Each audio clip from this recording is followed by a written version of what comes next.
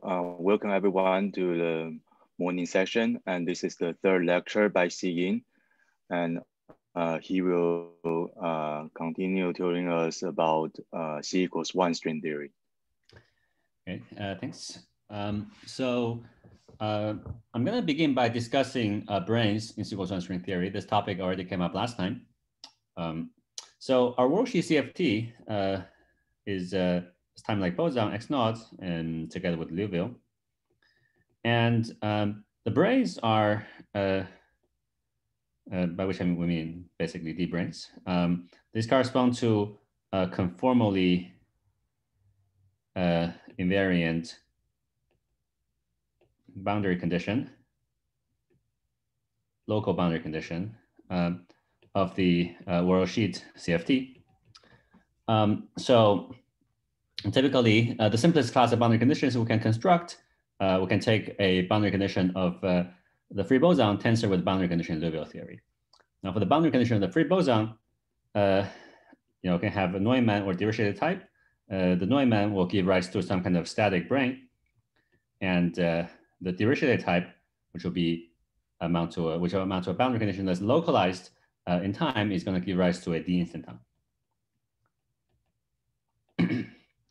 Um, so uh, in order to explain uh, to explore these, we're gonna now focus on uh, branes in Liouville theory. So we'll focus on the branes uh, in Liouville.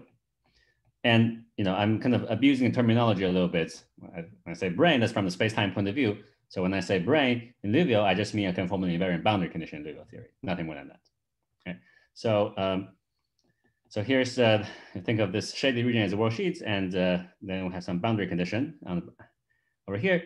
Um, now, uh, probably, I think uh, you know, most students, when they first learn uh, this D-brane, about D-branes in string theory, uh, you think of the boundary condition as some kind of boundary um, um, condition on, on the fields, say some free boson. Um, now, the Liouville theory of interest is the C, C equals 25 Liouville theory. As we commented on before, it's strongly coupled. Um, so uh, to define this boundary condition precisely, uh, one needs to do a little bit better than just saying uh, what is boundary condition on an elementary field on, on some fundamental field. Uh, so in fact, uh, the most convenient way to describe this boundary condition, which actually also allows a complete classification of boundary condition in the unitary Liouville theory, is to um, use the notion of boundary state. So um, let's consider a strip, Liouville theory on the strip, uh, this can be either Euclidean or Lorentzian. Let's for the, consider Euclidean for the moment. Um, uh, we can have boundary condition B1 on the left side and boundary condition B, B2 on the right side. Um, and uh, um, so there's a Hilbert space uh, associated with Liouville theory on the interval with the you know um, B1 boundary condition on the, on the left end and B2 boundary condition on the right end. Um, so uh, a quantity one can study is um, this uh, cylinder partition function with function B1 on the left and B2 on the right. So uh, let's say we work in a conformal frame where this length is pi and uh, that circumference is 2 pi t, uh, then it's well known that, uh, well, you see, uh, you can, um, you know, cut this cylinder either in this direction or you can cut it in this other direction. Um, if you cut along this um, uh, blue line segment, um, we can interpret this separate function as a trace over the Hilbert space um, with B1 and B2 boundary condition on the left and the right end of the, of the interval, um, e to the minus 2 pi t, um, L naught minus C over 24. Uh, I think uh, probably you know that, and have read Polchinski, you know that uh, with the, uh, on, the, on the strip with the conformal boundary condition on the left and on the right, um, there's uh, one copy of Virasoro algebra that is preserved, whose generator I call L naught. And also the boundary condition is only possible when the sum of charge and left and right are equal, of course, for the uh, example of interest is gonna be equal to 25. Um, and, um, but if you uh, cut it um, uh, along this purple circle, uh, you want to decompose, uh, so you have a, you think of it, you know, the left boundary condition is creating a boundary state we call B1 double bra, and then we have a B2 double ket. Um, and uh, uh, then we can view this Bernoulli function as the matrix element of a propagator between these boundary states. Um, and uh, uh, we need to do a one over t rescaling to put this circle into a, to the unit circle. So then we get minus pi over t, the length becomes pi, pi over t, L naught plus L naught tilde minus C over 12.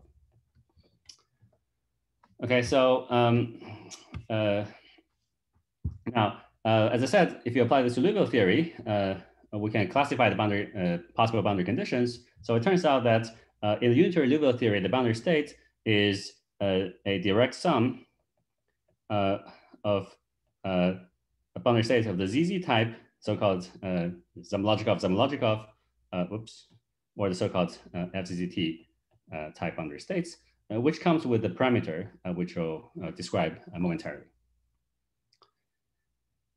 Okay, so actually, if you know the ZZ and FZT boundary conditions, it turns out that um, you will be able to construct all the possible boundary conditions of uh, unitary Liouville theory, just as, as their direct sums.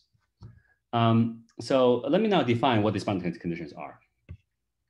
So uh, first, let me give you some intuition. So the intuitive uh, picture.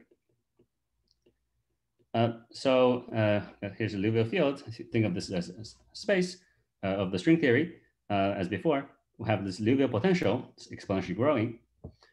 Um, okay, so um, uh, the ZZ brane, um, uh, this boundary condition, which is, you know, if you take the ZZ boundary condition of Liouville, tensor with Neumann boundary condition in the free, time like free boson x naught, uh, then you get a boundary condition that defines the so-called ZZ brane.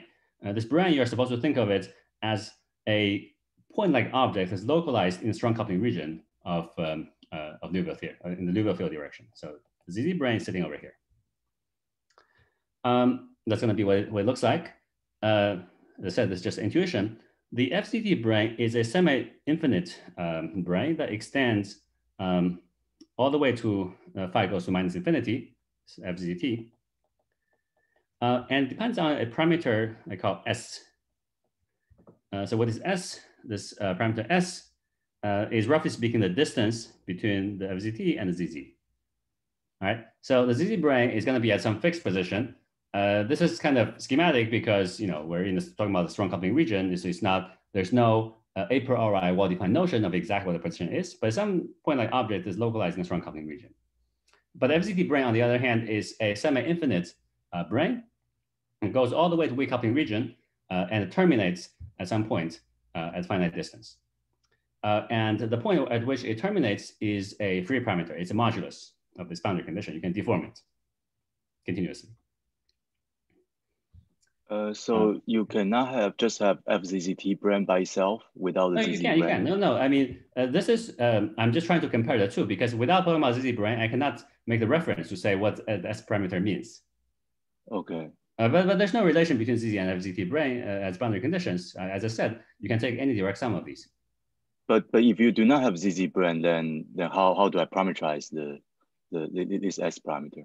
Uh, look, the parameter S has nothing to do with ZZ brane. What, what I said mm -hmm. is that if you put a ZZ brane there, then the distance mm -hmm. between ZZ brane and the tip of ZZ brane can be interpreted as S. I see. So you can just basically choose arbitrary uh, uh, some some reference point. That's right. Then, then That's correct. Fine. Okay. That's correct. Okay, so uh, now on these branes, they're gonna live um, open strings. Uh, so the open strings, we use maybe the green color, can be living on the FZT brane, they can live on the ZZ brane, or they can be stretched, you know, from FZT to ZZ brane. And there are all these possibilities. Um, okay, so um, let me first talk about the ZZ brane, ZZ boundary condition.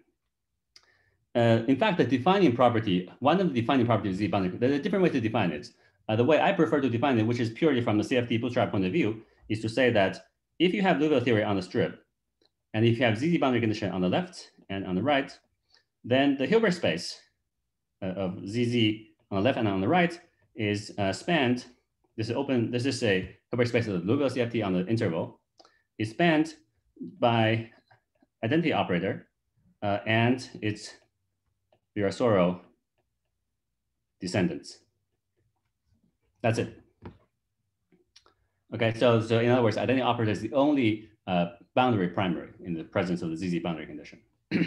so this already determines actually uh, the boundary state completely uh, using um, this modular uh, bootstrap. So uh, for example, using this cylinder point function that I described earlier, you see if you put z on both sides, uh, let's say this is pi and that's 2 pi t, right? So this is by construction because I claim that um, I assert that the only state on the interval is that any operator is Virasoro descendants. So this partition function is just the vacuum character of the Virasoro algebra with a tau equals it. Uh, and this is, uh, so if I define as usual, q is equal to e to the minus 2 pi t. Um, in this case, this is equal to q to the minus c over 24 product, and from 2 to infinity, 1 over 1 minus q to the n, which I can also write it as uh, q to the minus c minus 1 over 24 times y minus q over e the function of it. All right, um, and uh, uh, now um, we just need to uh, rewrite this in terms of uh, uh, sort of a propagator in the closing channel. Um, and this is, this is an easy thing to do because the eta function, we know how, the, how the, what its modular transform is. And the, the, thing that multiplies eta function is a elementary function that you can just do this um, transformation of uh, t goes to uh, 1 over t, essentially. Um, and uh, um, uh, the result looks like this. So you can write this as in, some continuous integral uh, dp uh, of, um, I call this chi, 1 plus p squared tau tilde, where tau tilde is i over t. Uh, so this is the um, uh, Virasoro character. Um, whoops. Uh, of uh, uh, a primary weight h equals 1 plus p squared. Um, and uh, the coefficient that multiplies, some normalization convention, and I'll write this way. I call it psi zzp squared. So what is this? Um, uh, the claim is that, in fact, uh, the ZZ uh, boundary state here uh, is um, uh, a integral over um, Ishibashi states, VP. these are the, this is our Ishibashi states um, associated with the the Liouville primary VP. and its coefficient, which is essentially the disk one point function. So this is this is this one point function of the operator VP with a ZZ boundary condition. Okay, so uh, if you uh, uh, plug this into this uh, you know, matrix element that I described earlier, you'll get precisely this um, uh, integral of the characters. So the, the matrix element of the propagator between Ishibashi states is just the, the Virasoro character and is multiplied by the square of the disk one point function. So this uh, um, maybe I should write this down a little bit more explicitly. So in case people are not familiar, so VP uh, e to the minus pi, say, uh, let's call it uh, uh over T, L naught plus naught tilde minus 0 over 12, uh, VP prime.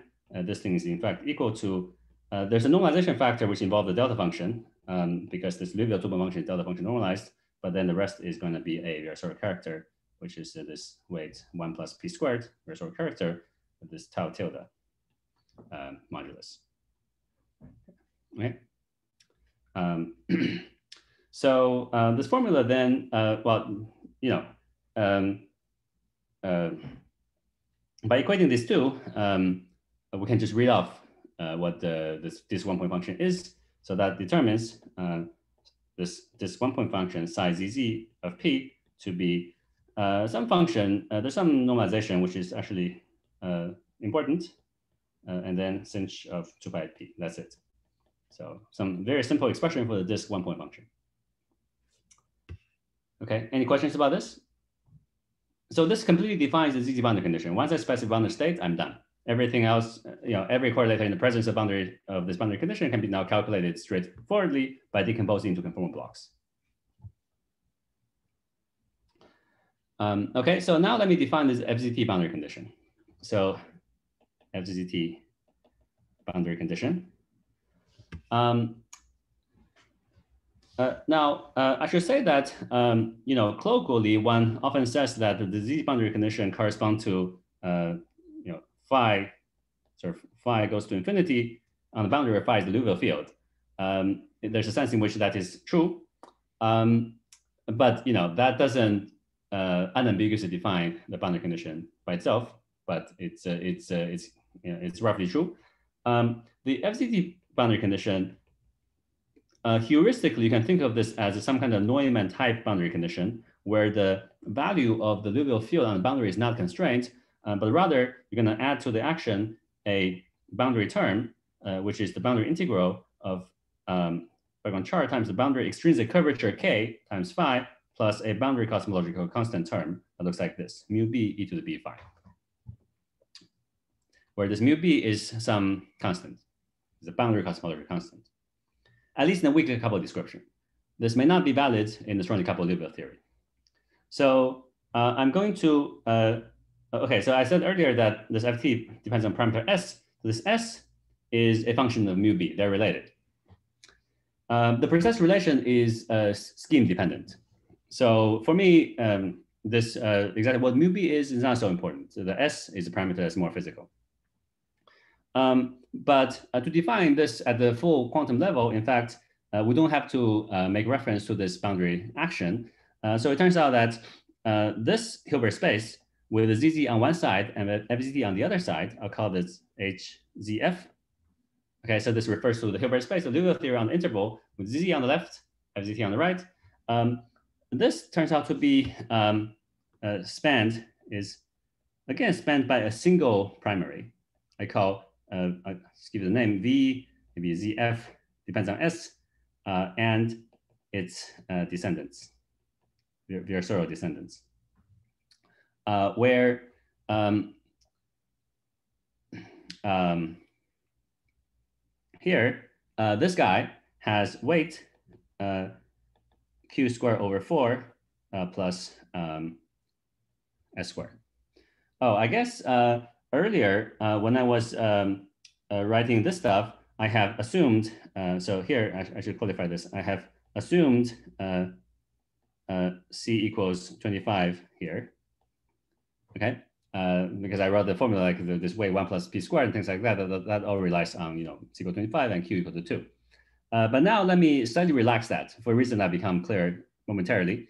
for general Q of the Liouville theory, um,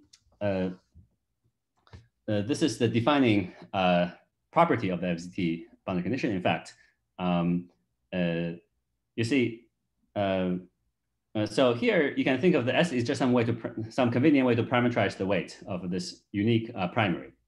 Okay, so the FZT brane can be defined by the the FZT boundary condition can be defined by demanding that this um, Hilbert space on the strip consists of only this um, single primary. Um, Okay. Mm, so it is known that in fact, uh, this SMUB, this relation in some specific scheme, it looks like this. Um, not terribly important for my purpose, but let me write this down just to illustrate. There's some relation like this.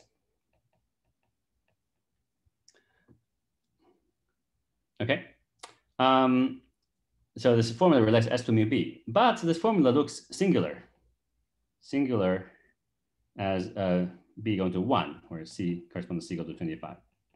So for this, uh, in this limit, uh, when b goes to 1, uh, finite s, generic finite s corresponds to uh, mu b going to infinity because the right hand side has multiplied by 0. Okay, so uh, uh, this is a sense in which I said emphasized before that b equals 1 is strongly coupled Liouville theory. So in this case, um, it does not actually make sense, at least in the standard regularization scheme, it does not make sense to parameterize boundary condition using mu b uh, because it's singular. We receive infinite renormalization, but instead we should use the uh, appropriate renormalized parameter, which is s. That's physical because it tells you the actual spectrum on this strip. Okay, so from now, we're gonna work um, with s, not mu b, and we're gonna forget about this boundary cosmological constant business. That's gonna, this is gonna be my definition of the boundary state. Um, so in fact, um, using the same uh, philosophy, uh, you compute the, if you compute the cylinder partition function, you'll be able to determine the, uh, the um, uh, disk one point function uh, of um, uh, um, of the FZT boundary condition. Um, so in fact, let me just tell you what the answer looks like. Um, ah, actually, yeah, okay. So we have VP here and FZT boundary condition depends on parameter S. Um, if you study the cylinder partition function with ZZ on one side, FZT on the other side, uh, you can easily solve it. Uh, and the result is um, this thing, let me call it uh, psi FZT. It depends on S, depends on P, the Liouville momentum of the closed string operator um, is equal to some number uh, times cosine of 4 pi S P over sinh 2 pi B. So there, again, there's some elementary looking formula for this, not very complicated. All right. um, now, uh, let me discuss uh, the uh, Hilbert space of Liouville theory on the strip with FZT boundary condition on both sides. Uh, this is going to be important because uh, later, uh, if you're going to study open strings on FZT branes. Is the question? Uh, question. Uh, yeah, so uh, how do I see that the S parameter is the distance between FZT brane and ZZ brane? Oh, that's easy. Uh, uh, well, uh, you see, uh, it basically follows from this. Uh, if you read out the energy of, of this guy here, when you know when this guy here, if you set Q to two, which equals 25 Liouville theory, um, S is going to be the energy of that open string mode. So if you dress this with e to the i omega x naught, S is going to be the energy of the open string mode. This is going to be the open string that's stretched between FZT and the ZZ. So so the so the, the S is basically the length, you know, of the of the, the, the stretch open string. Okay. So so uh, wait. So uh, S is the energy, but uh, I mean uh, the the conformal. I, sorry, I thought the conformal dimension is identified with the energy. No, Maybe absolutely not. No, no, no, no, no. The conformal dimension. Uh, I'm talking about space-time energy. Okay, so oh, okay. Uh, you see, okay, uh, the conformal dimension is like k squared. I see, I see. Okay, uh, good. Maybe let me be more explicit. Uh, you know, the uh, the string vertex operator is going to look like e to the uh, i plus minus i omega x naught the, as a boundary operator, and this v as cf.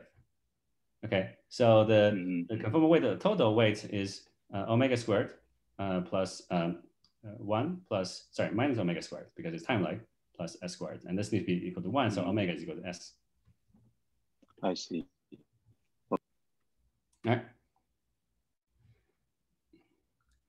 Uh, okay, so um, uh, uh, now let's consider the open string with both ends on the FZT.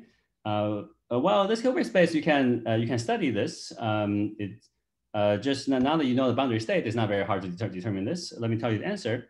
Um, I'll call this with FZT on both sides, HFF. so this contains um, primaries, which I, I will label by, call it uh, labeled by uh, psi um, p f f. It's going to depend on some continuous parameter p, which looks like Liouville momentum again. So I'm going to um, I just call it p. Um, and it has weight uh, again um, q squared over four uh, plus p squared. And we're going to work, work in the case where q equals to two. Um, so uh, in fact, if you uh, look at uh, uh this formula here, um, uh, you know, this S is just a priori, a priori S is arbitrary parameter. So um, it didn't have to be real, for instance. so in fact, it's consistent with the unitarity as long as S is, if S can be either real or it can be purely imaginary if its imaginary part is not too big. It does not exceed uh, to q over two, right? So, um, uh, so in this case, uh, actually, let me just specialize to the equals uh, 25 case where um, I write this as one plus p squared. Um, and um, uh, so uh, it turns out that this is just a side comment. If S is in the interval between i over 2 and i, it turns out purely imaginary. Then there's also another um, uh, state where um, uh, P takes the um, uh, imaginary value i times one minus two as absolute value. Uh, this is not terribly important uh, for my purpose because later on I'm going to focus on um, s not only real, but actually large. Uh, this, is just a side comment. Um, so um, sorry, so, so, sorry. In, in that case, you will have open string tachyon because of the, the energy is imaginary. Um, uh, that's correct. That's correct. I'm, uh, I'm about to say that. Um, so let me draw a, draw a picture of uh, uh, the complex S-plane. So the allowed uh, values are, so here's origin, are here and here. Uh, so let's say this is I, this is over here, I over two. Okay, so um, if you are in this range here, uh, this uh, ZT brane would be unstable um, because of this open string tachyon, as, as uh, Jimmy pointed out. Um, and uh, um, over here, uh, this part, all of this, this is this will lead to stable ZT branes. Uh, but all these bound conditions are actually unitary. Okay, along this, both the red and uh, the blue part are uh, represent correspond to uh, unitary boundary conditions of the Liouville theory. Uh, but uh, the red part corresponds to ZT branch that will support open string tachyon. The blue part will not support open string, open string tachyon. in the boundary state language, the blue part, if the S lies in the blue region, um, there are no relevant deformations on the boundary. That's the statement of absence of open string tachyon. Um, so, okay. Uh, later, uh, we will we will be interested uh, specifically in the limit when S is very large um, uh, for the consideration of long strings. Okay, this will come uh, next lecture, actually. This is just, uh, just a, a side remark for, for the moment. Okay, any questions so far? Um, so now that I finished discussing branes. sorry, I, am still a bit. Yes. Uh, uh, sorry, sorry, I'm still a bit confused by. So if I if the s parameter is in a range from zero to i over two, and in that case, p is still imaginary, or, um, but in but, but why in that case we we do not have open string tachyon? Um, uh, no, uh, no, no, no. Uh, uh, no, uh, the uh, this is a special case, and uh, you know this has you have to check from the from the actual modular bootstrap. I said if f if s lies in this this interval in this red interval, I claim that there's additional state. Mm. When s does not lie in this red interval, there's just these these states uh, psi p with the real p. That's it. Oh, oh, you. Oh, I see. So, I so so in that case, the okay, p are still. Okay, good. Thank you. Yeah, yeah. P just take our arbitrary positive real value. Uh huh. Uh -huh. Okay. Yeah. Uh, good. Uh, so uh, now uh, let me discuss the instantons. Um, in fact, before talking about the instantons in um, string theory, I'd like to um, uh, make a few comments about these instantons in uh, ordinary 10-dimensional superstring theory, because uh, this is something that uh, people often talk about, um, but uh, uh, most people have never tried to compute the effective the instantons. And if you try to compute, you might run into some subtlety, which I'll comment on. So let me make some comments on just 10D uh, let's say type 2B superstring. Uh, because this is a theory that admits a standard D instanton that's a D minus one brane. So in this case, D instanton uh, is the same as um, D minus one brane. Or at least the D minus one brane is one type of D instantons. There can be other possible types of D instantons. So this is Dirichlet in all directions, space and time. Uh, what is the role of this object? Um, well, um, if you do string perturbation theory, uh, you will compute some connected part of the string amplitude, uh, let's say as a genus expansion. So maybe, let's say for some four-point amplitude, you have a sphere, you have a torus, and you, know, you all know this, plus da da da. Um, now this series expansion is generally, you know, expected to be an, an asymptotic series. Uh, well, it may or may not be Borel summable. That's, uh, um, that's not clear. Um, uh, but you know, the d-instanton effects are supposed to be non-perturbative corrections on top of this, as far as closed string dynamics is concerned. Um, but that doesn't really make sense if you do not know how to sum up the perturbative series. Uh, usually, um, we can speak of instanton contribution unambiguously in two situations. Uh, either if the perturbative series just terminates for some reason, for some specific observable's interest, or if the perturbative series is somehow Borel summable. Last lecture I gave, I, I explained that in the example sequence string theory, it turns out the perturbative series is Borel summable. So it's unambiguous to speak of instanton correction or instanton corrections on top of that. Okay, but anyway, so in a situ in a nice situation, you might um, want to include maybe add whatever that means, uh, instanton corrections suppressed by e to the minus instanton action. Uh, then multiplied by some kind of diagram. These diagrams are supposed to be, again, worldsheet diagrams with closed strings, um, but with boundaries. And this boundary will end, the boundary of the worldsheet will end on the instanton. All right. So, um, so what what are the things that can, that can come here? Well, you might imagine that you can have, for example, a disk amplitude uh, with the um, uh, insertions and this boundary. Uh, so let's say this is the instanton, and this boundary ends on the d-instanton. So they're subject to the Dirichlet boundary condition in both space and time. Um, well, uh, but actually this is not a leading order diagram, um, even though it's of this topology. Um, so it's not a diagram with the largest Euler characteristic. The leading order diagram is, uh, uh, is, is the following, is uh, four disconnected disks. Each one has a closed string insertion. Uh, you see, uh, this uh, is still a connected amplitude. This is still a contribution to the connected S matrix element. Uh, why is that? Even though the worldsheet diagram is, uh, is disconnected, but the amplitude is a connected one because um, these different boundary conditions are tied together. They, they are they all end on the same instanton. And in fact, as usual, in just like in Yang-Mills instanton, similarly, you have to um, perform a integration over the instanton moduli space. In this case, if you have a single instanton, the moduli space is uh, just the position, parameterized by the position of the instanton in the Euclidean spacetime. All right, so you have diagram like this. So if you go to, so in fact, uh, this disk with four uh, closely insertions is not, not leading order. The leading order is four disks. And then at the subleading order, you can have uh, something like uh, plus uh, uh, disk with the I, maybe I should draw the same red boundary here, and, um,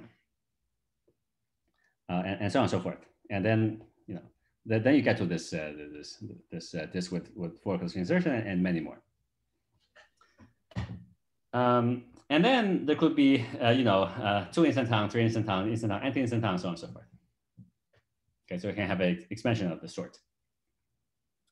Um, now, it's not clear in superstring theory that even if you include all these sound effects, you can capture the, the full um, uh, uh, you know, non-perturbative amplitude because you know the this instanton action scales like one over string coupling. That's expected. So this instanton action scales like one over string coupling, but we think that in uh, theory of quantum gravity, there's generically expected to be uh, one over g string e to the minus one over g string squared effects, which does not seem to be uh, capture simply by the instantons. But nonetheless, it will capture potentially some non-perturbative corrections to the perturbations theory.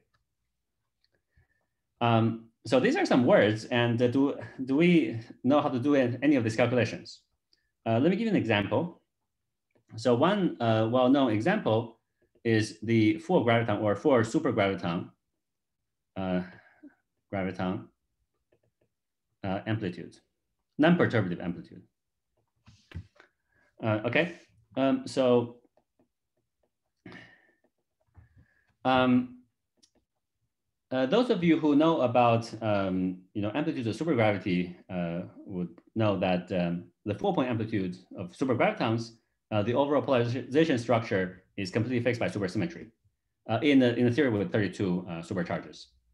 Um, so the only you know, room to play with is an overall scale function, scalar function that's a function of the Mandelstam variables. So this takes the form, can write del 16q um, f of stu, some function stu, where uh, I'm not going to explain what this super amplitude del 16q is. I'll just say that the supergravity uh, tree level four point amplitude, uh, you know, tree level supergravity uh, is uh, looks like del 16q divided by uh, stu.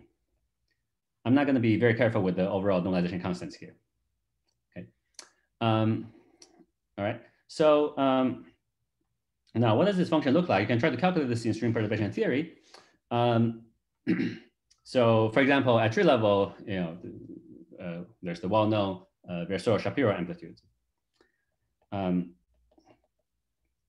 um, which you probably know that some ratio gamma functions of the this Mandelstam variables. You can then expand all these gamma functions in the power series of S, T, and U. Um, anyway, you'll find that this function f looks like uh, the following. Uh, looks like um, some number, six, it, the normalization doesn't matter here, uh, but uh, I'm just gonna write it down uh, just to, so that I don't have wrong formula here. Um, um, okay, and um, um, one has to be a bit careful about uh, you know converting the string units to, to Planck units. But anyway, I'm going to write everything in, in the Planck units here. Um, the STU are the Mandelstam variables in, in Planck units.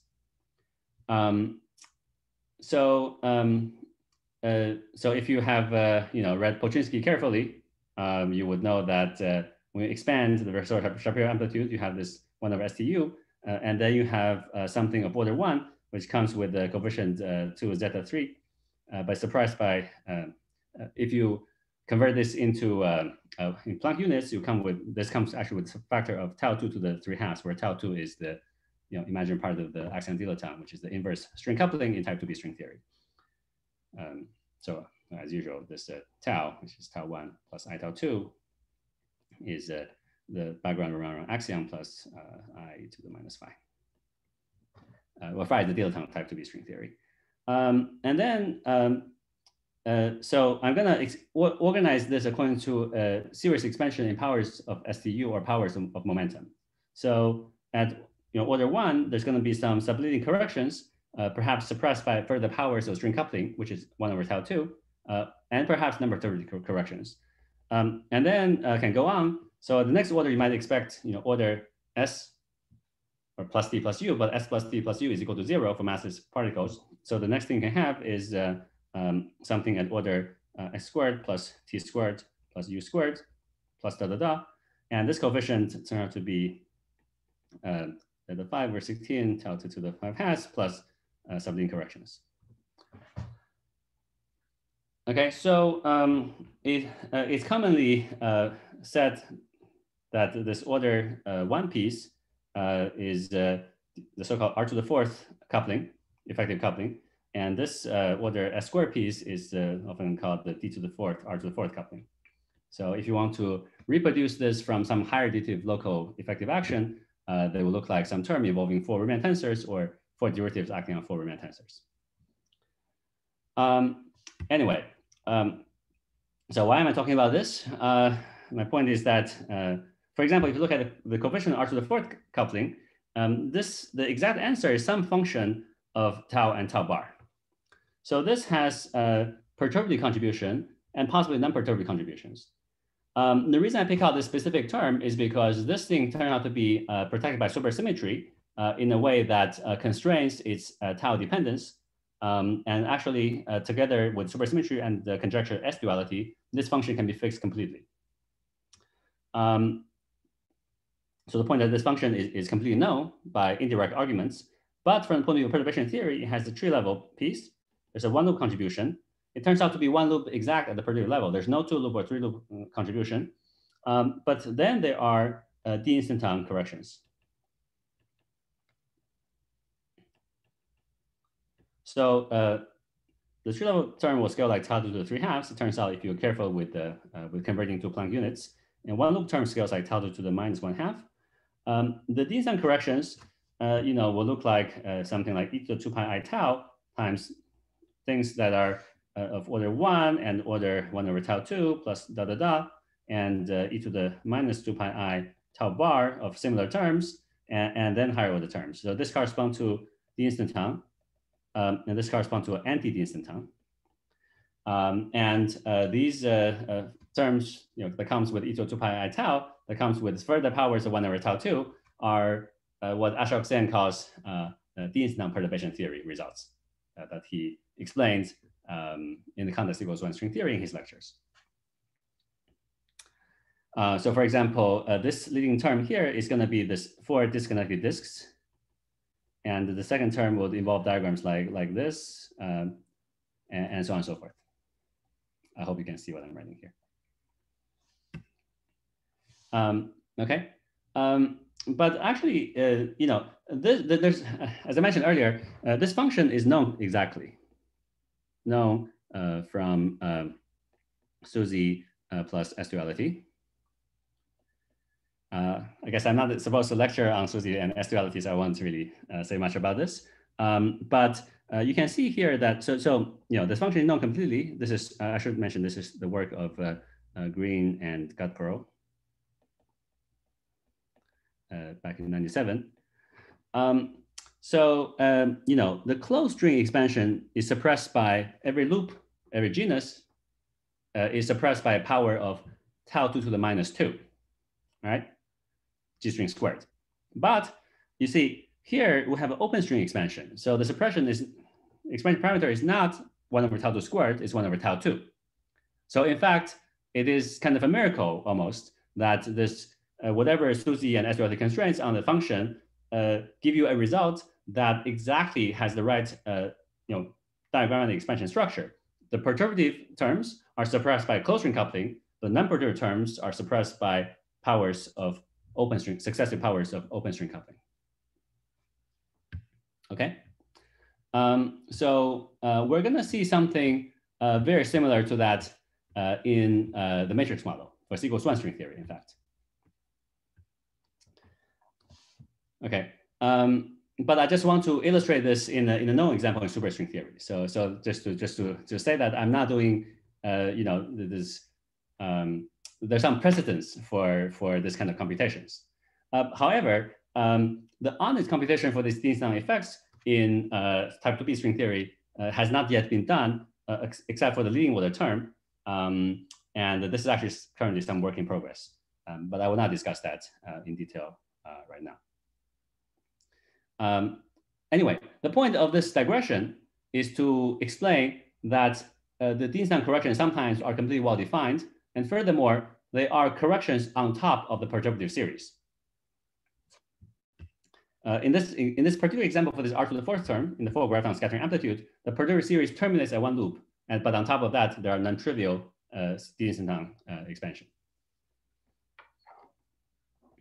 Okay, so uh, now we're back to uh, equals one string. Um, so in this case, uh, what are the d instantons? Uh, the d instantons, uh, they should be uh, Dirichlet in time, in this time like boson, x naught. Uh, and um, well, there should be some kind of brane in Liouville theory. And I'm going to take it to be the ZZ brane in Liouville. Uh, the reason is because intuitively, the FZT branes are semi-infinite objects. They will have infinite action. So they will not contribute to the closed string scattering. Um, but the reason, there's a reason I discuss FZT brane. They'll, they'll play a role later, but in a different context. For the instanton contribution to closed string scattering, the FZT brane will not play any role. Okay, um, so um, uh, the picture is like this. So we got uh, time and we have space, which is Liouville direction. Uh, but uh, these this, the Z branes are all kind of stuck uh, in the strong coupling region. They can be, you know, we can have several of them, and uh, they can mediate, you know, closed string scattering, like that. um, so you know, there'll be some, you know, this will correspond to some kind of three instanton contribution to some four closed string uh, scattering amplitude. Um, okay. Um, now, uh, with hindsight, I'm going to uh, make another remark. So notes. Uh, in fact, there are other types of ZZ instantons. There are the so-called higher uh, ZZ instantons. So, so I'm referring to this as a as a ZZ instanton here, because they involve ZZ brane in Liouville theory. Um, but uh, in fact, there are more. Um, so uh, it turns out that um, uh, earlier, you know, I described this ZZ boundary condition. Um, uh, in fact, if you look at the original paper in 99 by Zamolodchikov and Zamolodchikov called Liouville theory on the pseudosphere in which they discovered this boundary condition, um, they actually talked about a, a, two integer parameter family of boundary conditions, which I can label by ZZ uh, m comma n. Um, most of these are actually not unitary, but um, you'll, you'll see that, in fact, uh, in the case of the instanton, uh, it seems that these non-unitary boundary conditions can also play a role. Um, anyway, uh, so let me just define these boundary conditions for the moment. Uh, so if you can, again, consider Liouville theory on the strip, the original z boundary condition I introduced earlier is the, of the type 1, comma 1. Um, if you have another m, comma n type z boundary condition, this Hilbert space with a 1 comma 1 on the left and m comma n on the right, uh, again contains a unique primary uh, called psi m comma n. Uh, this is in fact uh, a degenerate uh, Virasoro primary. It's going to have uh, weight um, for generic q will be q squared over 4 minus mb plus n over b squared over 4. so this is a primary with a level m times n uh, now is descendant. Uh, descendant. This. Okay, so it's a, it's a uh, has a special weight.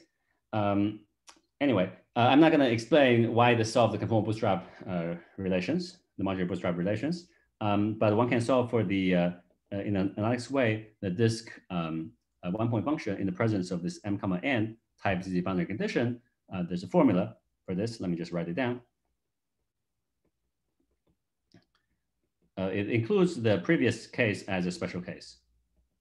The, the previous, the elementary ZZ boundary condition with the 1, comma 1 type as a special case.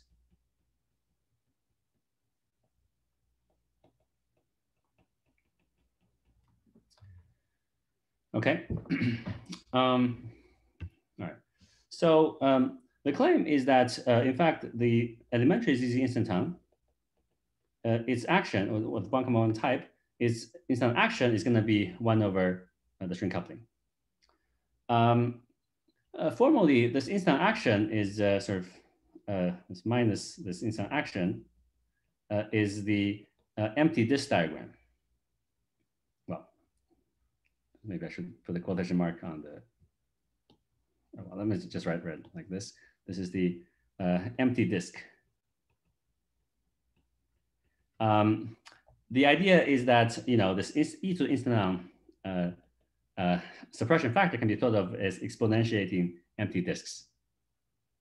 Okay, because you have supposed, supposed to sum over all the you know, disconnect diagrams as, as well, but uh, you have this empty disk that's supposed to give rise to this e to the minus instanton factor. Um, we don't actually know how to compute the empty disk directly. I don't have a rigorous argument for this because uh, you see, um, uh, I can talk about this one point function, but uh, but I cannot take the operator VP to be identity. Identity is not in the spectrum. It's not normalizable. So the VP contains only the normalized delta function normalizable states. Um, but uh, formally, if I take uh, consider the analytic continuation of P going to I, then uh, V, you know, if I take P to I, then the weight of VP, which is H with one plus P squared, goes to zero. So that kind of imitates the identity operator. Um, uh, but this is not kind of a rig rigorous argument, but I can, um, you know, use this argument. This is kind of a, a, a sloppy argument uh, to motivate the idea that you have the m comma n ZZ instanton. Uh, its action, uh, which is disk diagram with m comma n type boundary condition, uh, would be, uh, well, compared to S1 comma 1 type um, ZZ instanton, the ratio is going to be given by the one point function psi m comma n p uh, divided by psi m comma n, um, sorry, um, psi uh, 1 comma 1 p uh, in the limit with the other continuation of p going to i. And if you do this exercise, you find that the answer is uh, m times n over uh, g string. Okay, so this, uh, you know, this argument suggests that perhaps, uh, you know, if this m comma n type instantons do in, in fact contribute, um, they will uh, have, each one will have m times n times the action of a elementary ZZ instanton. Um, now, uh, the upshot is going to be that generally for high instantons, it turns out that it seems like this m comma n type will generally contribute, uh, but I'll, I'll, come to that at the end of uh, this lecture. Sorry, so uh, but, how, how do you get the, the result that the the, the one comma one type, uh, the, the, the action is just uh, one over G string? Um, so uh, a, there's a, actually there's a clean argument for this. Um, so um, you can derive this by comparing um, the Z instanton to the ZZ brane. Okay, so the ZZ brane corresponds to the eigenvalue sitting at top of the potential. In other words, when the uh, the the the um, the mass uh, of the ZZ brane is the height of the potential above the Fermi surface. Okay, and, and there's an unambiguous way to convert the mass of the ZZ brane to um, to um, the uh, the action of the Z instanton.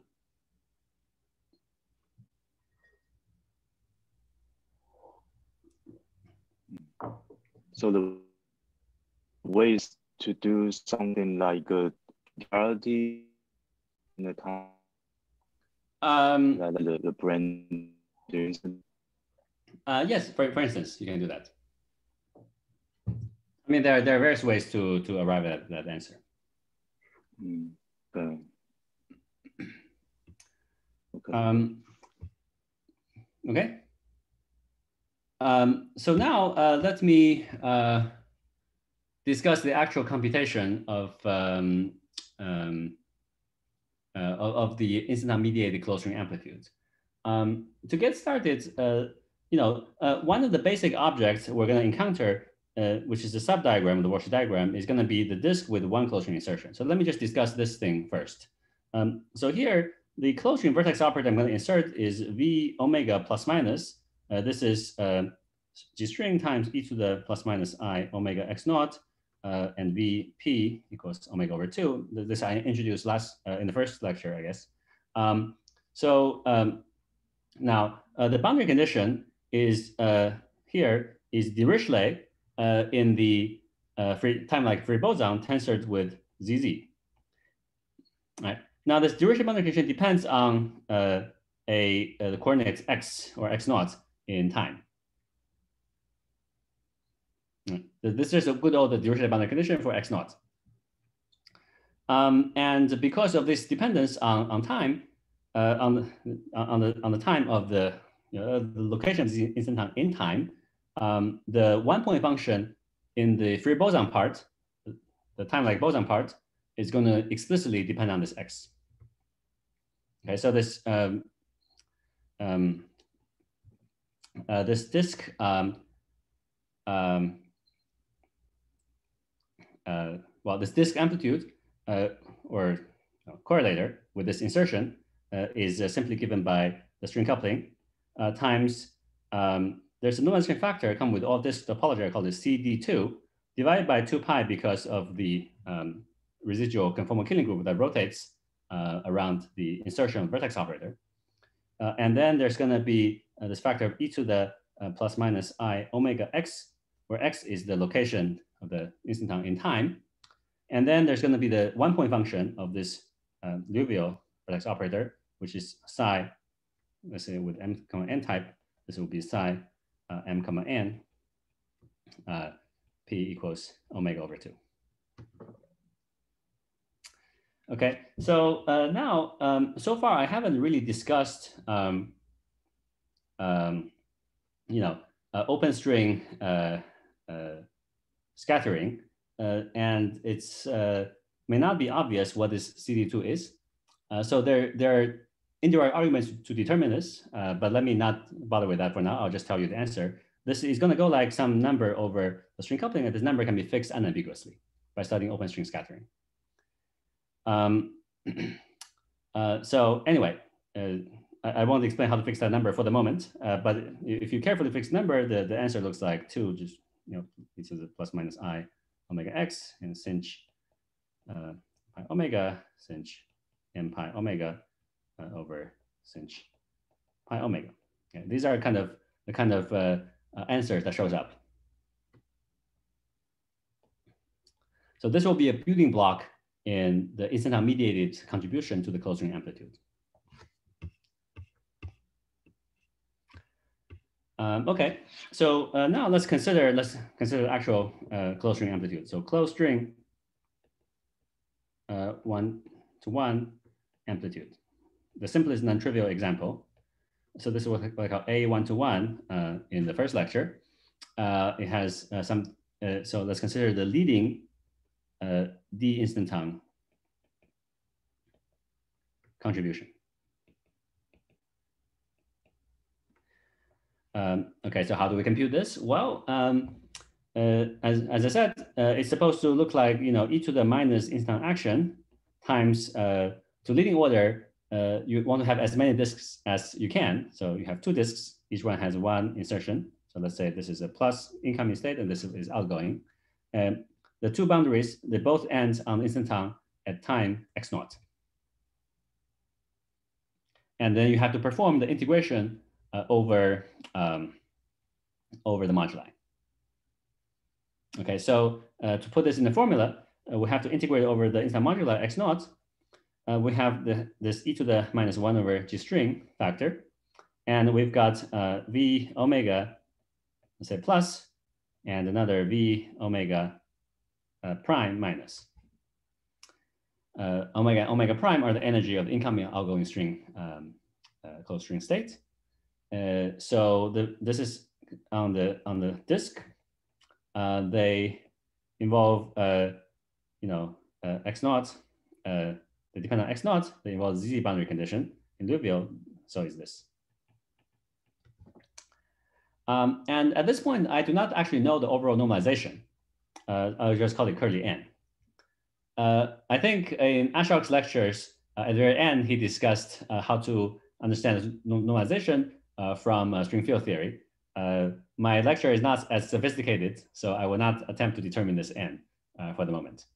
I'm just gonna try to fix it as a universal constant by comparing the answer to the matrix model. Okay, so uh, now uh, let's do this calculation. Uh, well, I already told you what these uh, disk one point functions are. I wrote, wrote them above, uh, even for the more general case. So, so for right now, I'm only considering the elementary one comma one type ZZ instanton. Uh, so the answer is very simple. Um, you see, um, uh, so this guy here is proportional to e to the i omega x naught. This guy here is proportional to e to the uh, uh, minus i prime omega prime x naught. So uh, each by itself, the energy is not conserved. Um, but if you integrate over the moduli x naught, instanton moduli, then you get a delta function that impose, implements energy conservation. So the result is 2 pi delta omega minus omega prime times uh, this curly n e to the minus 1 over g string and then some factor four times sinh squared pi omega. Okay, so, so far this n is still undetermined over normalization. It could have been zero, maybe zero. Okay, if it's zero, maybe it'll be disappointing that there will be no instanton contributions, but we'll see. Uh, but the energy dependence nonetheless is completely unambiguous because like it's proportional to sinh squared pi omega. Okay. Uh, so now let's compare uh, to uh, matrix quantum mechanics. Uh, now, this would only make sense if I have a non-perturbative definition of the matrix quantum mechanics. Last lecture, I gave a proposal for what is supposed to be the correct non-perturbative completion of a equals one matrix quantum mechanics. I'm going to use that propos proposal.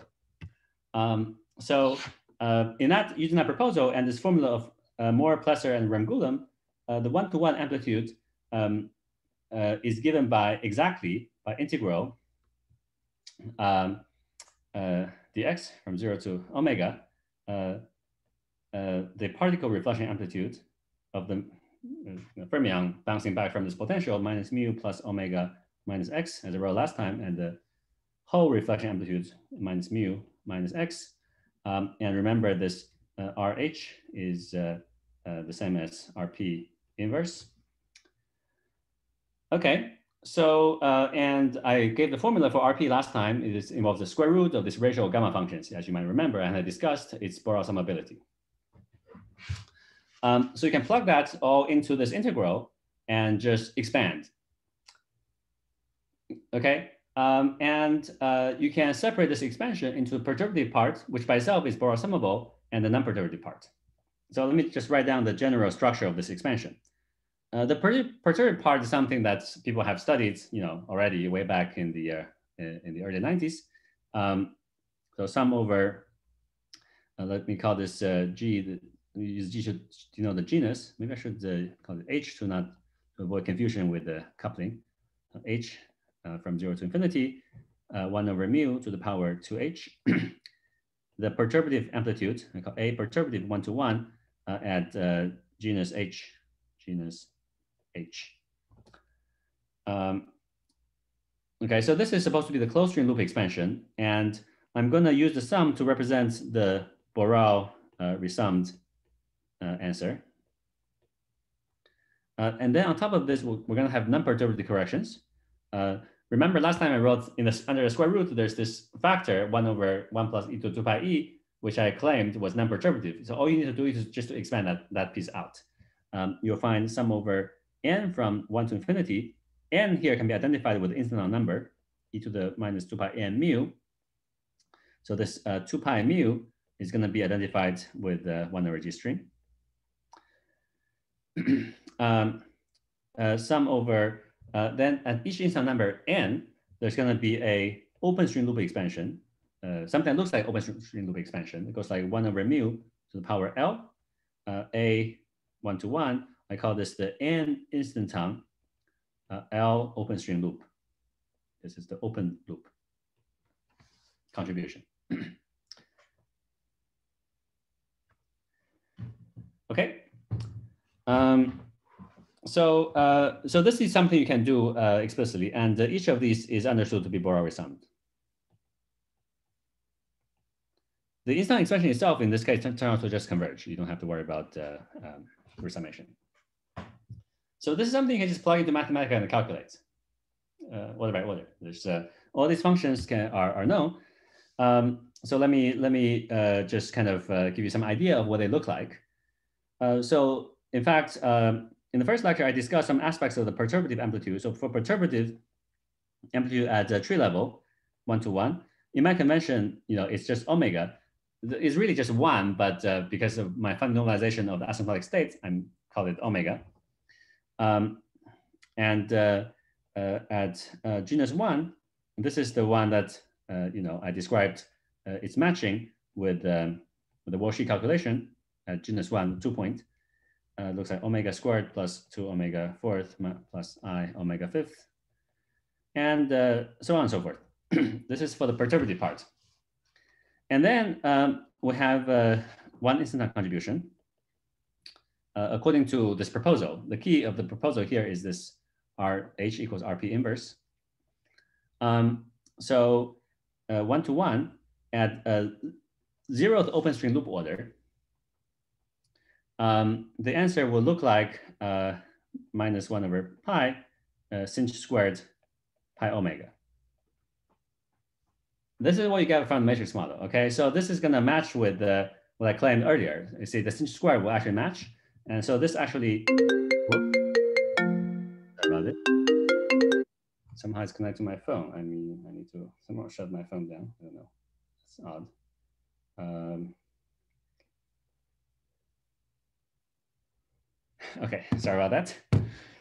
Um, um, um, so, um, uh, so this matches with the uh, as far as the omega, the energy dependence is concerned, agrees with the computation I sketched above uh, and uh, fixes n to be uh, minus one over eight pi squared.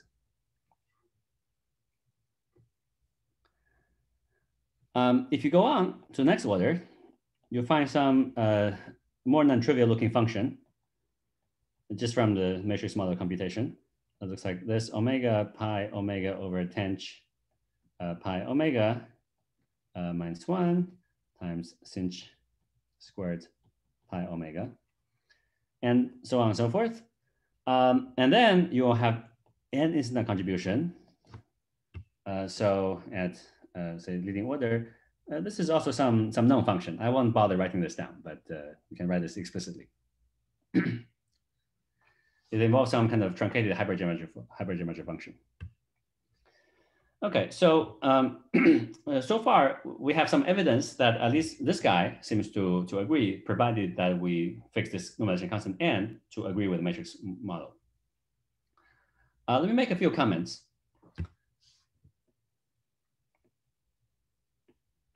Um, so uh, you could wonder, you know, that there are um, infinitely many different uh, ways to non-perturbatively quote unquote complete that matrix model if you only know the perturbative part, because you have this potential like this, but you can do, you know, perturbatively, this Fermi sea doesn't see what's happening on the left-hand side, so you can just change to some other potential. Um, so, you know, they all have the same perturbative answer.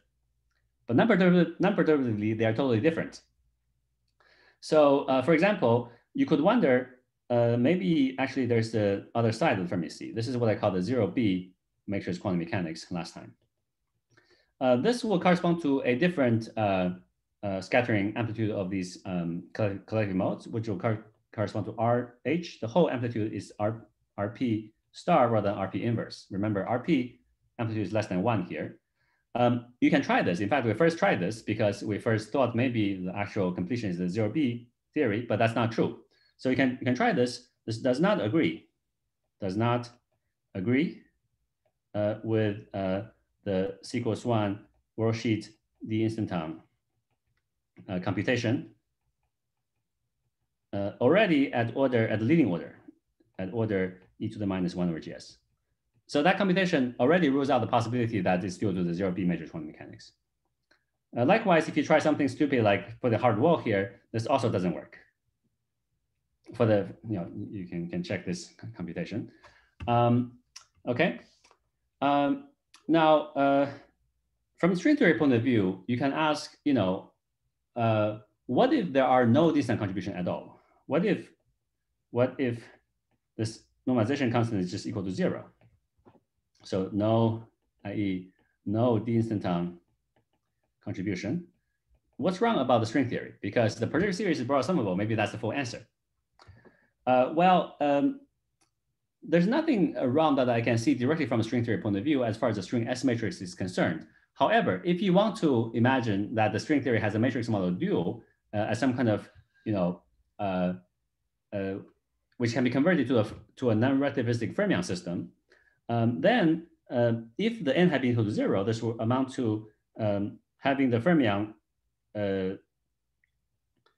uh, uh, reflection amplitude being just the perturbative part, which is uh, would be this expression, the ratio of these gamma functions, without the non-perturbative correction. Okay, but such a function is going to have um, uh, the branch cuts on the complex energy plane uh, rather than poles on the lower half plane. So there'll, there'll be branch cuts uh, rather than poles, and this is not good. Uh, there's not a non-relativistic quantum mechanics, um, quantum mechanical system. Okay, so if you imagine the string theory somehow due to some, you know, matrix quantum me mechanics of the type I discussed, doesn't matter what potential you use, um, it, it can, it, there has to be some instanton correction. It cannot be that there are no instanton correction at, at all. That's not possible. Any questions about these comments?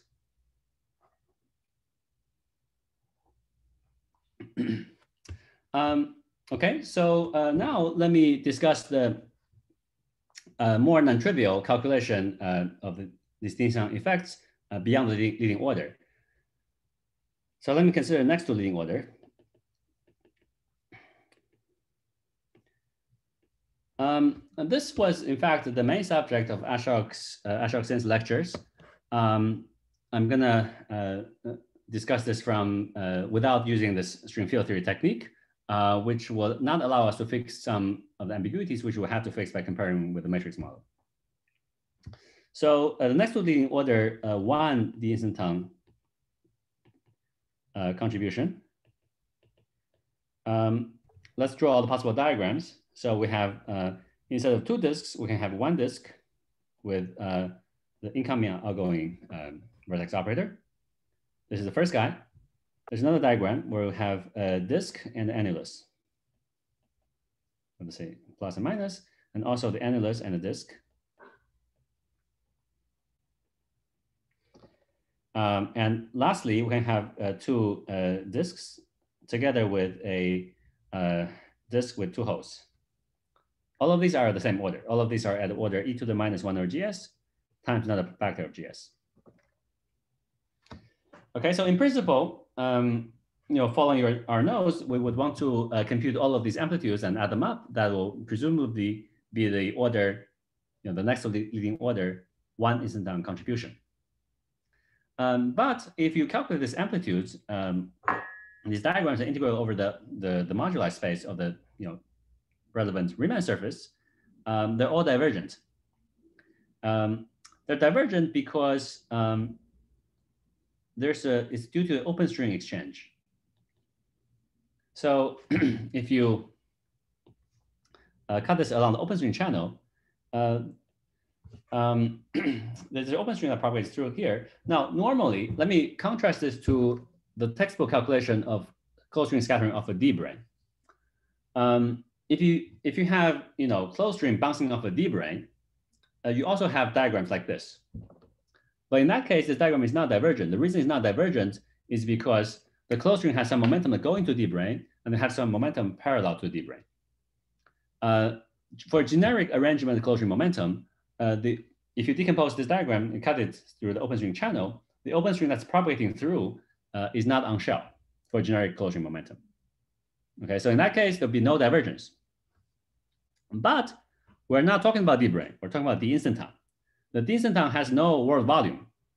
So if an open string is on shell, it's always on shell, regardless of what the string momentum is.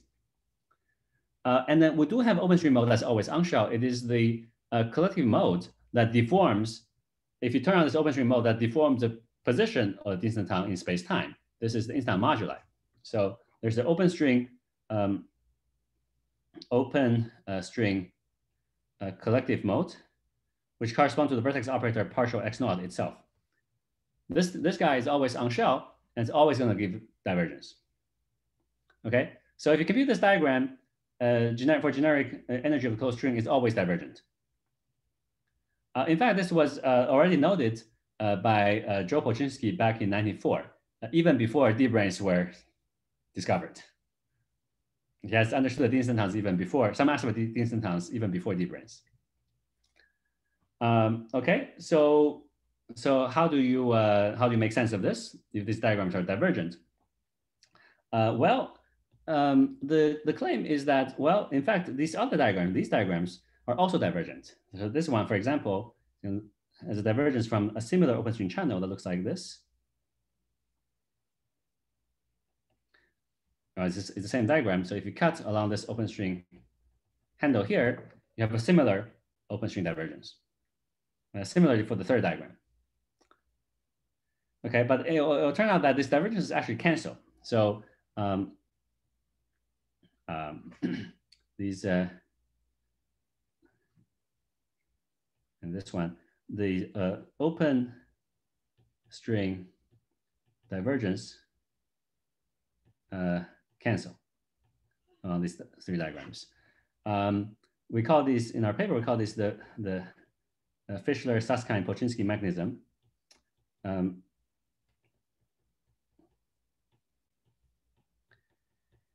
uh, this is a cancellation of divergence between uh, worldsheet diagrams of different topologies uh, which is a bit unusual. Uh, now, the last diagram, uh, well, this one, uh, whatever it is, is going to be proportional to the leading order answer, but multiplied by some constant associated with this disk with two holes.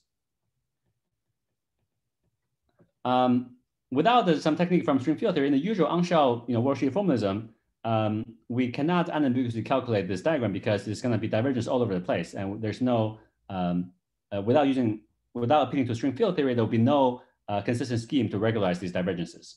So the best we can do is to assume that in some appropriate regularization scheme, uh, this uh, disk with two holes, compute some constants. There's some constants. And if you do that, you can interpret this constant as a uh, order G string uh, correction uh, to the ZZ brane action itself. Uh, but uh, so far, from the worldsheet point of view, we cannot com compute this unambiguously without appealing to a string field theory. And I'm just going to try to match this with a matrix model without actually doing the, this calculation. But it's just a number. I mean, here we have a whole non-trivial function to, to match with. So, uh, you know, it's sufficient non-trivial to, uh, the comparison is sufficient non-trivial to fix these numbers unambiguously in principle. Um, I should also mention that uh, this is a point that was emphasized in Ashoke's, this is you know, one of the main points of Ashoke's lecture, uh, is that um, even though the leading divergence due to this uh, open string collective mode exchange is canceled by this uh, FSP mechanism, uh, this is a cancellation of logarithmic divergences. And uh, um, there can be you know, finite shifts of the log that are ambiguous. And once again, without appealing to string field theory, we do not have a way to determine uh, the finite piece of the log after doing this cancellation. Uh, and when we wrote the paper, uh, we simply fixed that by matching numerically with the matrix model. But then Ashoke was able to fix that um, finite ambiguity using string field theory technique, and the results agree numerically. Um, so at this point, um, let's see. Uh, I'm trying to decide whether I want to uh, describe uh, this computation in, in some more detail. Maybe I should write something down because uh, so far I'm just been drawing pictures. Maybe it's good to, uh, to get a better sense of how these computations are done. So, so let me describe this in a, in a bit more detail. Um, so the actual, so what do we actually compute? The actual computation. Um, let's start with a disk with two uh, closed strings. So V omega 1 plus V omega 2 minus. Uh, we have to regularize this somehow uh, because, as I said, uh, there's this uh, logarithmic divergence due to the open string, on-shell open string exchange. We have to somehow subtract that off. Okay, so I'm going to regularize in some way. Um, so what is this? Uh, well, uh, as usual, you know, this disk, we can map this to the upper half plane with one vertex operator at the point i, the other one at i times y, and y lives on interval zero to one, and we're gonna integrate y over the range zero to one, as usual. So integrate over up and down. Um, okay, so this is v plus, here's v minus. okay, so if you do this calculation, so there are some uh, normalization factors g squared, uh, d2, uh, this over normalization, cd2, there's gonna be e to the i omega 1 minus omega 2 x naught from the Dirichlet boundary condition of the free boson part. Um, there's some uh, normalization factor which I won't really explain. I'm just going to write it down here. Some depending on energy. Um, the, uh, and then there's integration over the moduli. Um, of, course, the non-trivial part of the integrand is uh, the correlation function in the CFT um, with the appropriate ghost insertion. Uh, now the ghost part as well as the free boson part is very easy to calculate. Uh, I've already uh, you know exhibited the, the part that depends on the boundary, uh, the, the Dirichlet boundary condition. Um, so um, anyway, the free boson, the, the, free free CFT, the free boson and the ghost correlator is some power of y and one plus y and y minus y. So this looks like um, like this, uh, one minus y to some power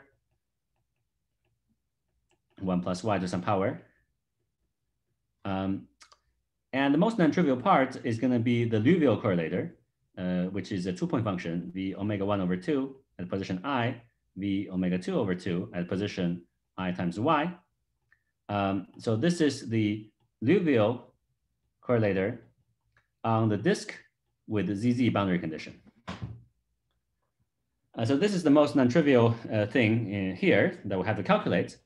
Uh, and that would be it, uh, but it's divergent. Okay, so we have to subtract all the divergence. Uh, and in fact, if you look at this divergence carefully, the divergence occurs in the limit y going to zero. So y goes to zero, there's a divergence. That, that, that's when the, you know, the open string channel goes on shell. Um, and in fact, uh, there's a divergence, there's a power divergence and then there's log divergence. The power divergence is due to open string tachyon. The power divergence is due to the exchange of the open string collect collective mode. We have to subtract both off. Um, so, um, uh, so it turns out that the subtraction looks like this. So there's some constant. I won't explain this in detail. There's some gonna there's gonna be some numerical factor, uh, which is not very important for my purpose here. Uh, there's gonna be um, the disk one point function of the Liouville vertex operators because it's related to the factorization of the disk, uh, the, you know, this into the, the two disks, uh, each one with, with some uh, uh insertion of uh, some simple open string vertex operator.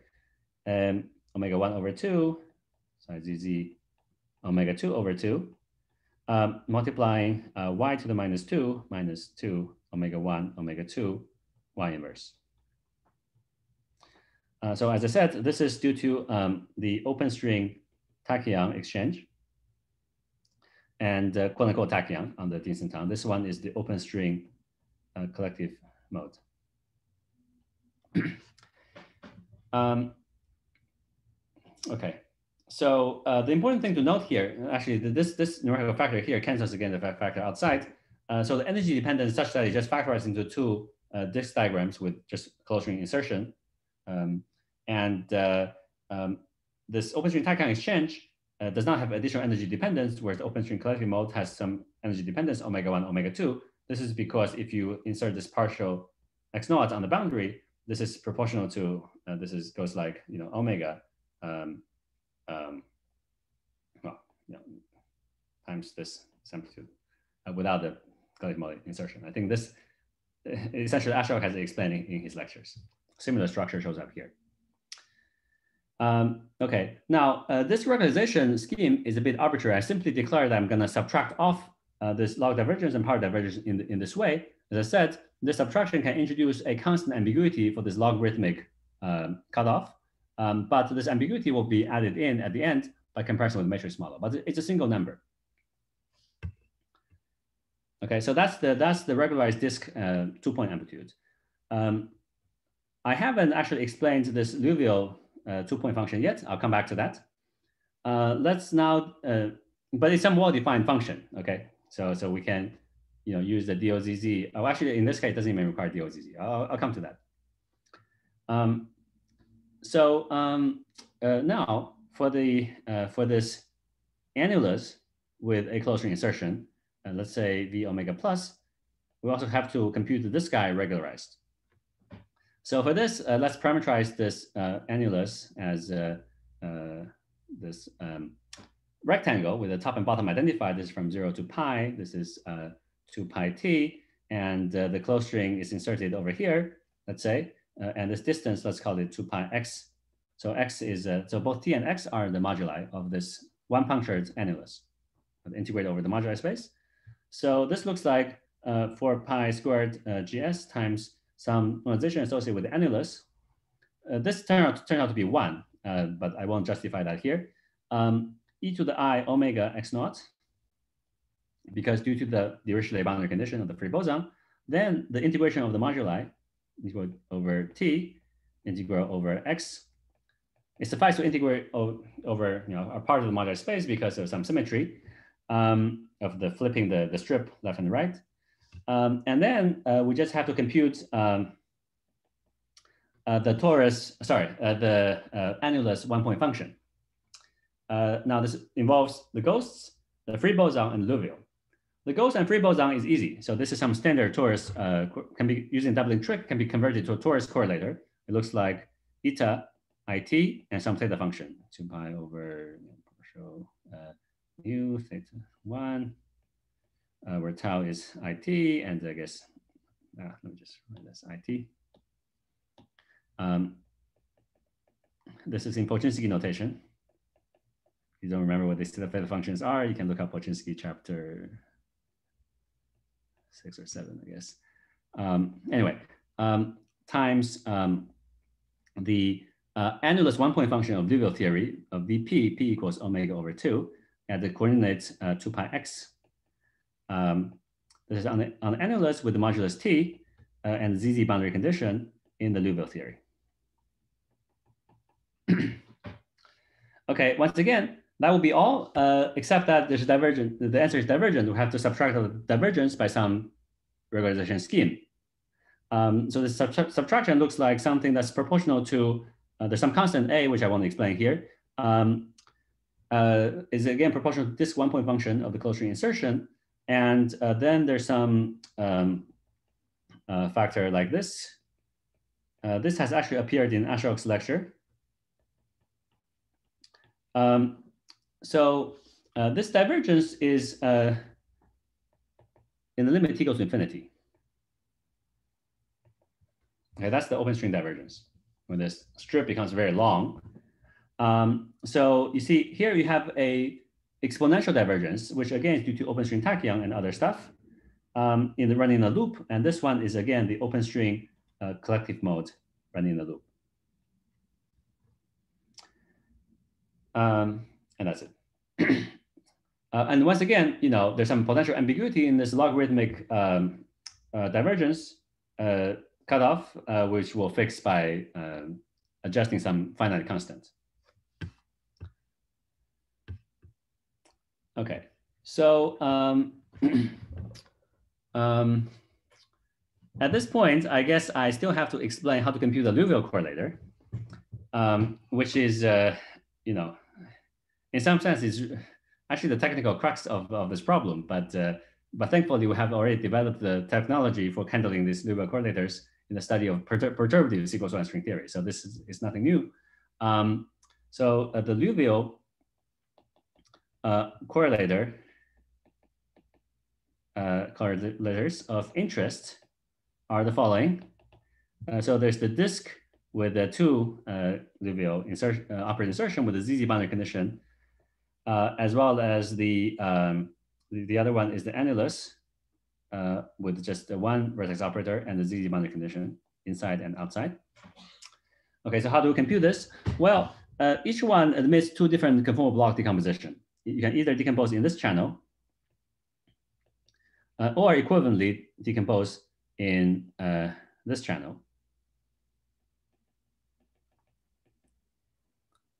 So there's an open string channel and the closed string channel. I hope it's clear what this picture means. So in the second, the closed string channel, I have to integrate over the intermediate uh, closed string states, in this case, the Liouville uh, vertex operator VP. Uh, so here I have to uh, use uh, the uh, here you have a disk one point function here, and we've got um, uh, the DOZZ, this is DOZZ structure constant. Uh, in this other conformal block decomposition, remember uh, the ZZ boundary condition only supports the identity operator. So this is just one and uh, just reduced to uh, you know this one point amplitude, but you still have the computer conformal block. so these are conformal blocks on the of the disk two point function, um, but luckily uh, by the doubling trick, in fact, this conformal block are the are the same. The same block, same block uh, as um, the sphere four point conformal block with identity exchange, and this is the same block uh, as uh, the sphere four point block with the um, generic uh, Liouville primary exchange. So all of these can be calculated using numerically efficiently using recursion formula. Uh, so this is not a problem to compute numerically. But the result is something complicated. There's no you know, elementary expression for these correlators. Okay. Um, this guy here uh, is similar to the torus two-point function in Liouville theory. And thankfully, we have also done that. In fact, if we didn't write our first paper on this, in which we compute the genus one two-point amplitude in Liouville theory, this would have been a daunting task. Uh, but you know, thankfully, that was was already done. So we can just use the same conformal blocks uh, so there's one channel which looks like uh, this. Um, but and, once again, this is just identity operator propagating over here. And there's an, another um, conformal block decomposition, which is equivalent. And that it has integration over DP1, DP2. Um, so it looks like this. You have the closed string. Um, this ends on a disk. This ends on, on another disk.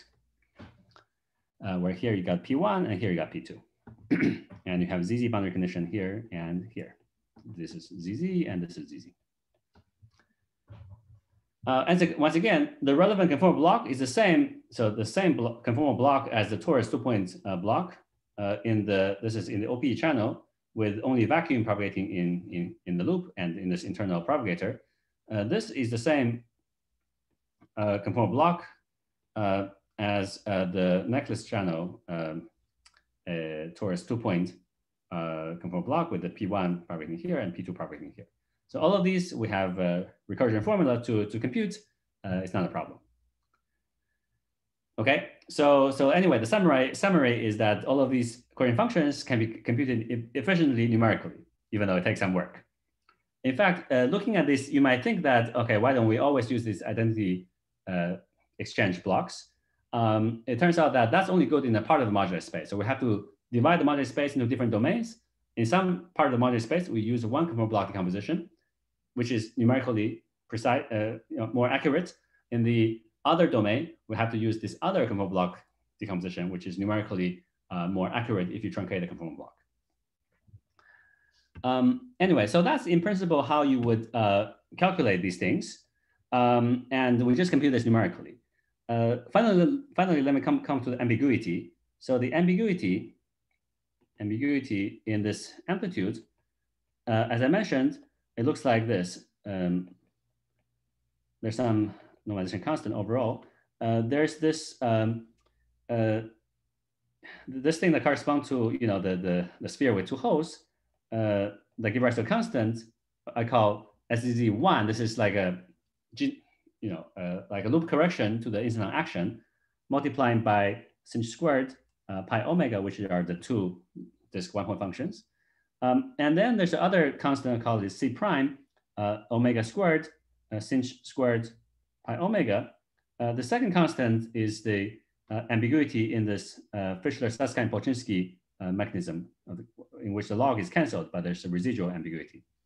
So this constant C prime, at the time when we, wrote the paper, we didn't know how to fix from the worldsheet. Ashoke Sen has shown, shown that using string field theory, you can fix this constant to be minus log four, which is approximately minus 1.386.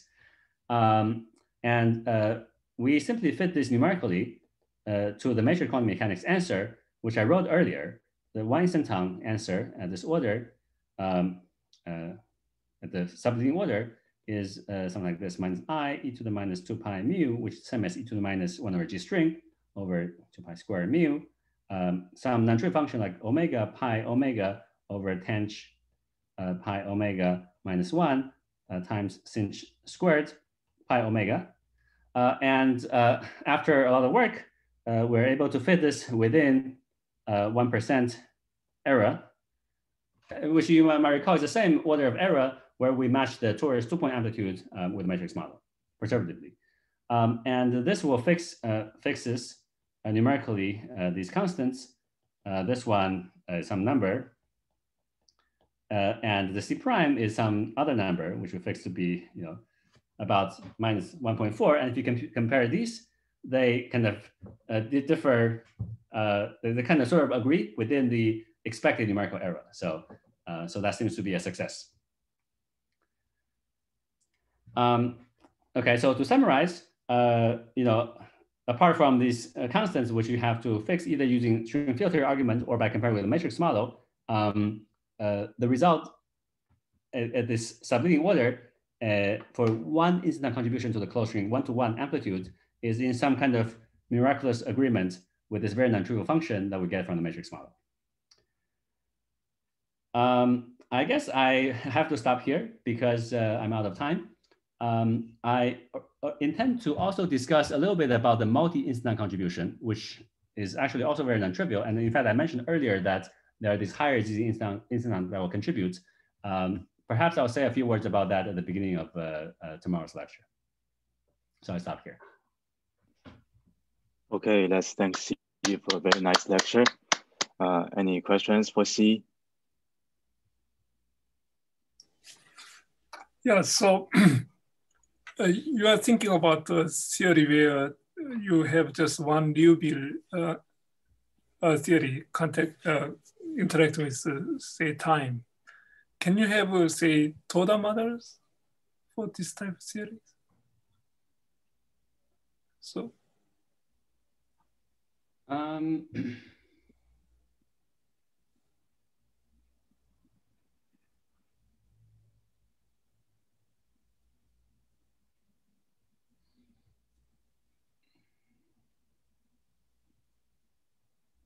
So um, uh, if you, let me see. So I think that would not be, at least in, the, in this setting, it will not be tachyon free, uh, Closing tachyon, it will not be free of Closing tachyon, I think.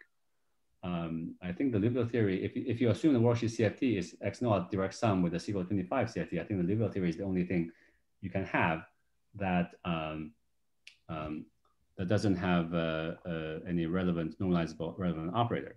The total theory, uh, you know, looks uh, it's like Liouville theory with two directions, or, or more two or more directions, and right. Uh, so it's uh, it's more like you know non-critical string theory in higher than two dimensions.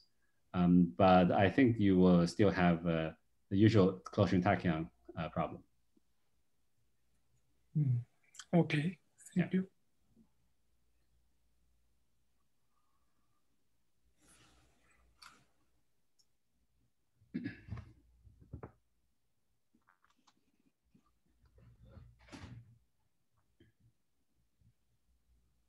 So I have a, a, bit technical question. So um, about the, the integral over the moduli space.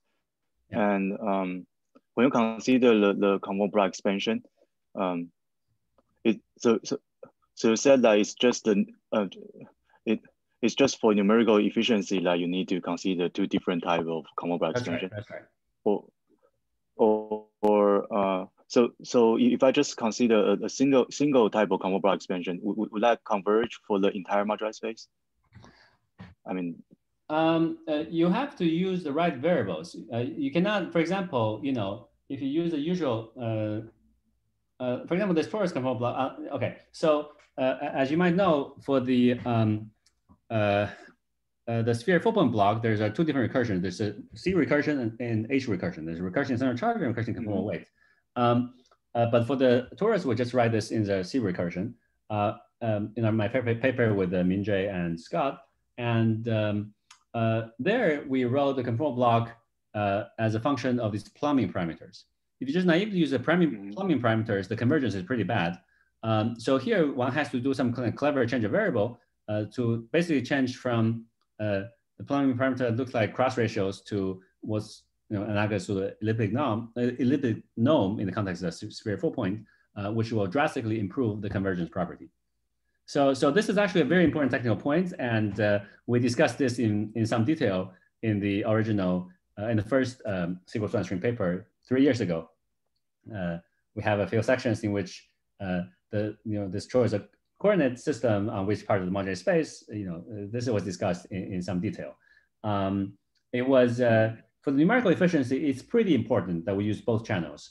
And we check carefully that on the overlapping regime, mm. uh, the two different channels agree to reasonable accuracy. Mm. I mean, in fact, that's kind of an important cross check so, because so this, for the yeah, I mean, I mean, you know, with this recursion formula, uh, you, they're so complicated. You're you know afraid that you'll be making some mistake in your computer code.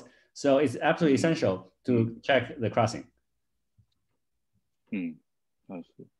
So for the, for the one uh, that's uh, analogous to the, the genus one two point uh, block, and uh, you you can find out some variable that's similar to the nome, and then then you can show yes, that. Yes, that, that's correct. yes. And and and and you can show that if, if you use that, that right variables, then then the conformal block expansion converge for the entire moduli space. Uh, no, it doesn't converge for the entire moduli space, but converge for some large domain. So okay. the thing is, uh, even even if you want to divide it into different domains, you still want to use this uh, elliptic nome parameters to improve the rate of mm-hmm. convergence. But but I think for the for the one that's similar to the the sphere four point, if you use elliptic nome, you can show that like converge for the entire. Uh, it, will, it will converge, but the question is how fast does it converge? I mean, we don't want to compute 100 yes, terms yes. in this so, block. We just want to compute a few terms. So yeah, yeah, yeah, yeah. Yeah, no, I, I'm, but I'm, I'm interested in the question that that in whether in principle the, the, the series converge or not. So so we know uh, that. So the, I don't quite remember the answer to the that. My impression converge. is no. My impression was, was mm. no, but I, I I'm, I'm not sure. Uh, you can just, mm. uh, but I think we kind of wrote it in, okay. in the paper. Uh, yeah. Okay. Mm.